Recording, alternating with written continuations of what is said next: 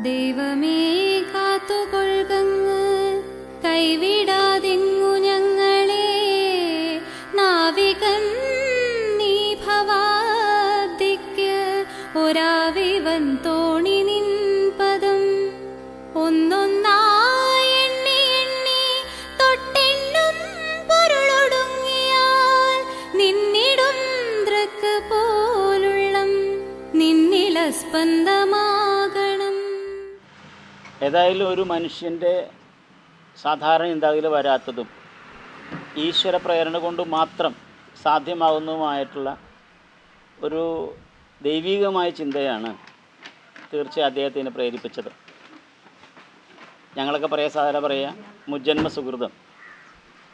അതാണ് അദ്ദേഹത്തിന് ഇത്തരമൊരു പ്രവൃത്തിയിലേക്ക് മാറാനായിട്ട് പ്രവൃത്തിയിലേക്ക് നീങ്ങാനായിട്ട് ദൈവീകതയെ ലോകത്തിന് മുഴുവൻ ഗുരുദേവൻ സന്ദേശം ലോകം മുഴുവൻ പകർന്നു കൊടുക്കാനായിട്ട് സാധിച്ചത്. ഇതിന് അദ്ദേഹത്തിന്റെ കുടുംബ പശ്ചാത്തലം എത്രത്തോളം പ്രേരകമായി എന്നുകൂടി നമുക്ക് അറിയാം അദ്ദേഹത്തോട് ചോദിച്ച് അറിയാം.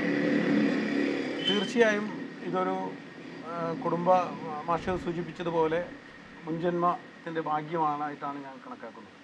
എന്റെ പിതാവ് കെ എൻ ഉണ്ണീഷൻ ശ്രീനാരായണ ധർമ്മ പ്രചാരകനാണ്.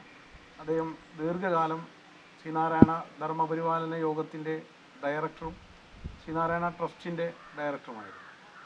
അദ്ദേഹത്തിന്റെ ഗുരു ഗുരുവചനങ്ങളിൽ ഊന്നിയുള്ള എന്റെ പിതാവിന്റെ പ്രവർത്തനങ്ങളും ഗുരു സന്ദേശം പ്രചരിപ്പിക്കുന്നതിന് പിതാവ് മുൻകൈയെടുക്കുന്നതും കണ്ടുകൊണ്ടാണ് ഞാൻ വളർന്നത്.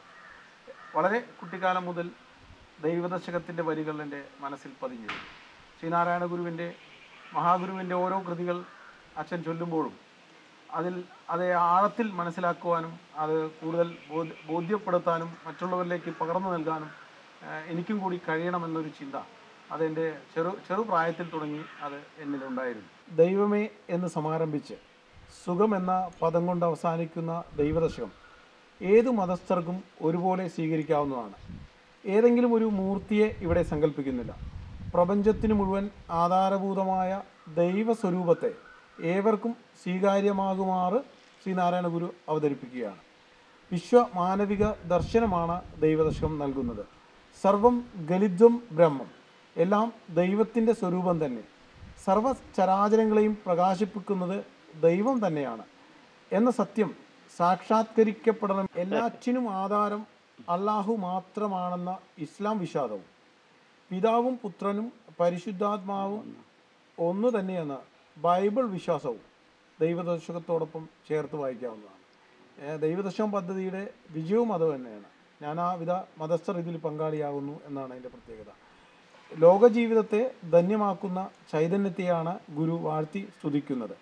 ദൈവ വെളിച്ചത്തിന്റെ സാഗരത്തിൽ നിത്യവും സുഖമായി ആഴണമെന്നും വാഴണമെന്നുള്ള പ്രാർത്ഥനയോടെയാണ് ദൈവദർശകം സമാപിക്കുന്നത്. സങ്കുചിതമായ ജാതി മതബോധത്തിന്റെ മൗഢ്യങ്ങളിൽ നിന്ന് ആത്മീയതയുടെയും മാനവികതയുടെയും അതിവിശാലവും അതിദ്വാരവുമായ ആത്മബോധത്തിലേക്കാണ് ദൈവദശകം മനുഷ്യനെ നയിക്കുന്നത്.